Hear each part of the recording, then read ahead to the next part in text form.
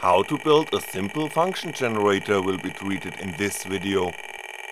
The function generator is very useful to test electronic circuits by generating different types of electrical waveforms over a wide range of frequencies. The most common waveforms are square, sawtooth, triangular or sine wave shapes. The central element of the function generator used here is an active integrator. There is negative feedback provided by the capacitor, hence the potentials at the inverting and the non-inverting inputs are held equal by the operational amplifier as demonstrated in the video about those devices. The non-inverting input is connected to ground, while the inverting input is connected to the input terminal of the circuit through resistor number 1. If the input clamp is connected to ground, the difference in potential between the inverting and the non-inverting input is 0V, hence the resulting output voltage of the operational amplifier is 0V too. Both plates of the capacitor are at the same potential. Furthermore, both sides of the resistor are at the same potential, hence no current is running through the device and the state of the circuit is stable. If the input clamp of the circuit is connected to the positive supply voltage, the capacitor gets charged via resistor 1. Now, the potential at the inverting input would increase, but due to the negative feedback, the voltage at the output clamp of the operational amplifier is decreasing in such a way that the potential at the inverting input is kept at the same potential as that of the non-inverting input, which is the ground level. While the left side of resistor 1 is connected to the positive supply voltage and the right side is kept at ground potential by the operational amplifier, the voltage drop across the device and so the current through resistor 1 and the capacitor is constant. This results in a linear relationship between the voltage across the capacitor and the time passing by. Remember that the current and the capacitance are constant values the circuit performs the mathematical operation of integration. The correlations are explained in more detail on the project page. To keep the inverting input at ground level, the output voltage of the operational amplifier is counterbalancing the increasing potential across the capacitor, which is why the output voltage equals the voltage across the capacitor, except the sign. Like expected, the oscilloscope plot shows a falling straight line. When doubling the resistance, the slope of the straight line gets halved, whereas tripling the resistance results in a slope of just one third. Same goes for the capacitance of the coupling capacitor. The output voltage of the operational amplifier can't exceed the input voltage, hence after a fixed span of time the negative supply voltage is reached. If the input clamp of the circuit is connected to the negative supply voltage, the capacitor gets charged with reverse polarity. Now the voltage at the output of the operational amplifier increases to keep the potential at the inverting input at ground level. The process stops when the positive supply voltage is reached. If the input voltage changes back to the positive supply voltage, the output voltage decreases until the negative supply voltage is reached again. The current through the resistor depends on the voltage drop across the device, hence on the difference in potential at the input terminals of the circuit. If the input voltage is half of the positive supply voltage, the slope of the straight line is halved, because the current running through the resistor is halved too. One third of the input voltage results in a slope of just one third of the primary slope, and so on. The input offset voltage of a non-ideal operational amplifier is different from zero, so even while the input clamp of the integrator circuit is connected to ground, the output voltage will decrease or increase very slightly depending on the specifications of the real device. The intention is to get a triangular curve progression, so all we have to do is change the input voltage of the circuit from the positive to the negative supply voltage whenever the output voltage is close to the negative supply voltage, and conversely change the input voltage from the negative to the positive supply voltage whenever the output voltage is close to the positive supply voltage. A circuit suitable for that is a Schmitt trigger. The output signal of the integrator is connected to the input terminal of the non-inverting Schmitt trigger.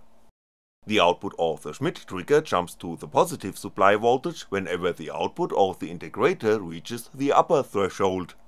Now the capacitor gets charged with reverse polarity until the output of the integrator reaches the lower threshold.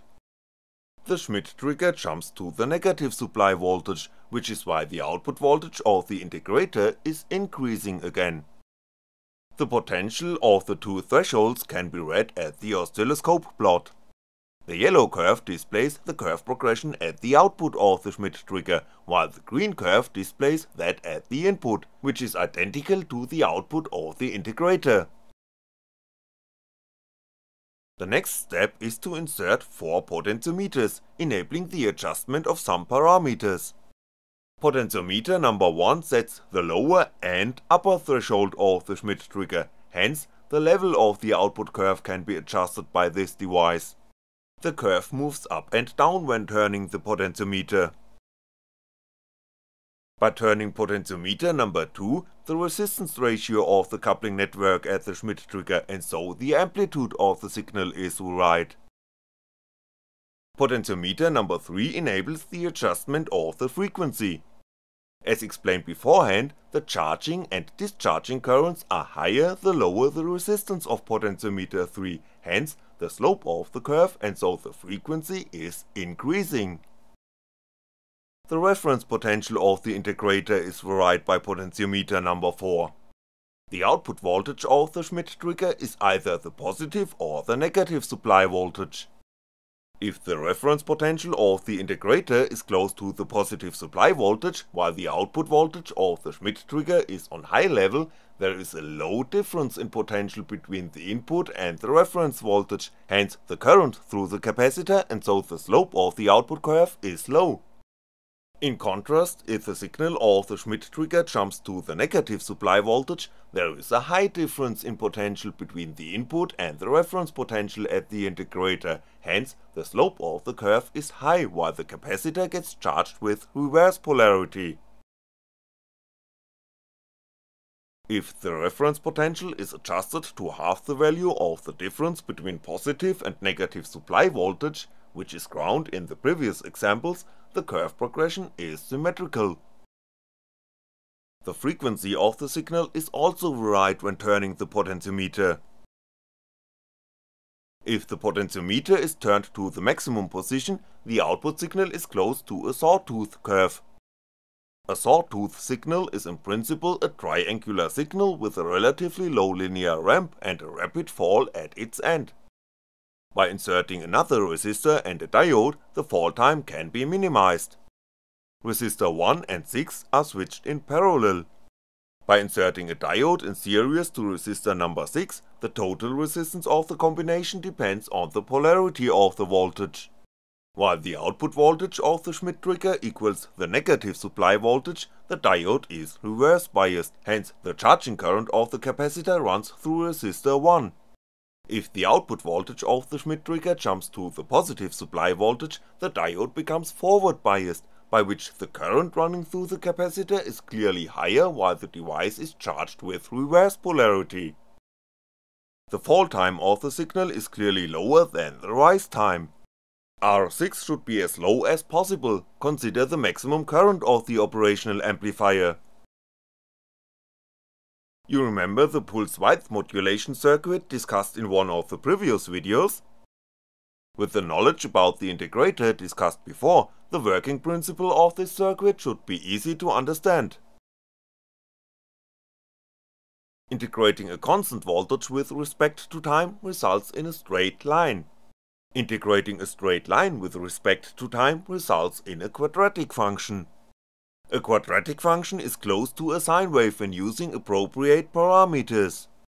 The plot shows two quadratic functions that are as close as possible to the sine wave painted in blue. When switching two integrator circuits in series while the input of the first one is a square wave signal, we get an output voltage which is very similar to a sine wave. For many applications this approximation is close enough. While switched in series, the sine wave signal at the output of the second integrator drifts to either the positive or negative supply voltage. There is a feedback between the output of the first integrator and its input signal via the Schmitt trigger, but this feedback is missing at the second integrator. The small offset voltage and so the bias current running through the input of real operational amplifiers causes a drift of the signal. Furthermore the triangular input signal is not perfect and any DC offset will cumulate in the capacitor over time. Trying to adjust the level of the triangular input signal to get a stable output signal won't succeed. A resistor can be added in parallel to the capacitor, hence there is a path for the DC current to flow. The resistance value should be as high as possible to minimize distortions caused by this device. Now, the level of the output signal can be adjusted by turning the potentiometer at the Schmitt trigger. By using a quad operational amplifier on a single chip, the whole circuit fits on a small board. While inserting several potentiometers, the shape of the signal, the level, the amplitude and the frequency of the output signal can be varied. The function generator is definitely not perfect. For example, whenever the amplitude of the triangular signal is right, the frequency of the output signal alters too. Whenever one parameter is right, the other parameters have to be readjusted. Nevertheless, the board is suitable for demonstration purposes. You can get the layout at the project page. The resistor and the capacitor of the integrator form a low pass filter, hence the amplitude of the signal varies with frequency. These effects can be observed at the sinusoidal signal at the output of the second integrator. The higher the frequency, the lower the amplitude. When swapping the capacitor and the resistor of the integrator, the resulting circuit is called active differentiator. The negative feedback loop is now provided by the resistor, while the capacitor is used at the input side. Caused by the negative feedback, the potential at the inverting input of the operational amplifier is kept at virtual ground, hence the input voltage equals the voltage across the capacitor, while the voltage across the resistor equals the output voltage, except the sign. The output voltage is proportional to the time derivative of the input, hence the circuit acts as a differentiator. The mathematical operation of differentiation is the opposite operation of integration. When using the triangular voltage as the input of the differentiator, the resulting curve is the square wave signal, which is the input at the integrator at the board. Using the sinus-like curve of the board as input of the differentiator, the resulting curve is triangular. You can see clear distortions, indicating that real circuits always add noise to a signal. That's all about function generators for today. Some more information is provided on the project page. Thanks for watching and I'll be back.